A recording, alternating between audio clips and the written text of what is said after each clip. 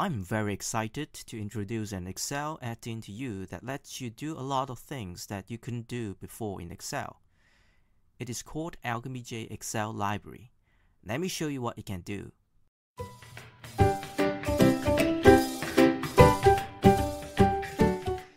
Hi folks, I'm Benson. In the previous video, I mentioned that we have a new AlchemyJ edition coming out soon, and it has finally arrived. We call it AlchemyJ Excel Library. If you have been following us, you may know that AlchemyJ allows you to create Java APIs and web services using Excel. And for that purpose, AlchemyJ provides many extended functions that are very useful when building APIs. For example, we have functions that process big numbers in Excel, retrieve data from an LDAP server, send emails, etc.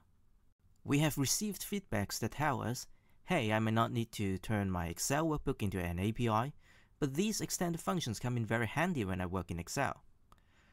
That's why we created this new edition of AlchemyJ for you.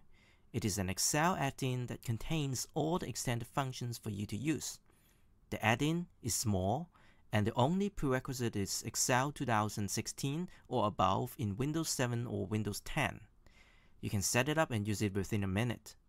The add-in is free and you can download it at alchemyj.io. After you have activated the add-in, you should see this AlchemyJ Excel Library tab. To start using the extended function it provides, make sure you initialize the model first. You can do this by clicking the Initialize Model button. It adds the required code into your workbook. All extended functions start with AJ in their names, so if you type equal AJ in a cell, you will see a list of extended functions that this add-in provides. Let's try doing a big number operation. How about we multiply two very large numbers? We specify a big number by inputting it as a string. Let's make the first one a big number and the second one just a normal number. It returns the product of the two with all the precisions it Now let's see what Excel will give us if we just multiply these two numbers normally. You can see that the value loses its precision, which makes the result inaccurate.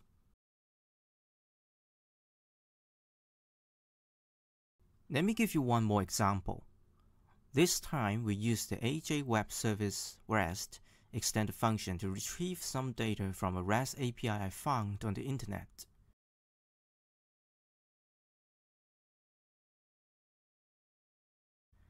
Type equal AJ Web Service REST and click the function icon.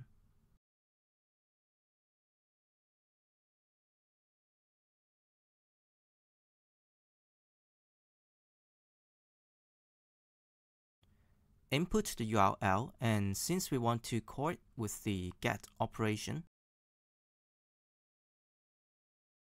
we put 1 here. Click OK to close the window. You may have noticed that the cell returns nothing. It is because this function may change some system state and it takes some time to run, so you don't want it to run whenever you calculate the workbook. To make it run, click Refresh Data. Here it is. It returns a JSON string.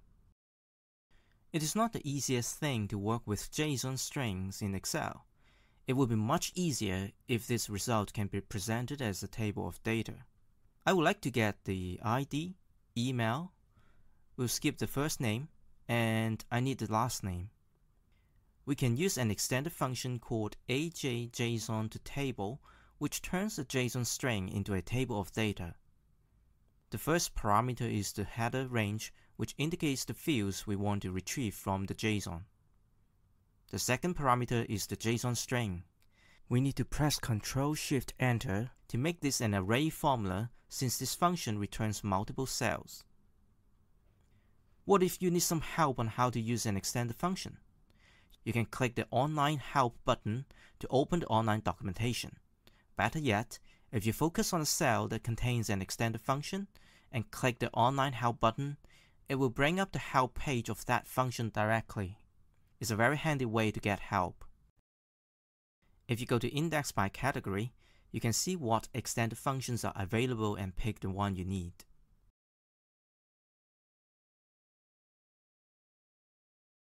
This add-in is free for everyone, so why not give it a try? You can get it from our website at alchemyj.io. I hope this add-in will be useful to you. If you like this video, please give it a thumbs up and subscribe to our channel.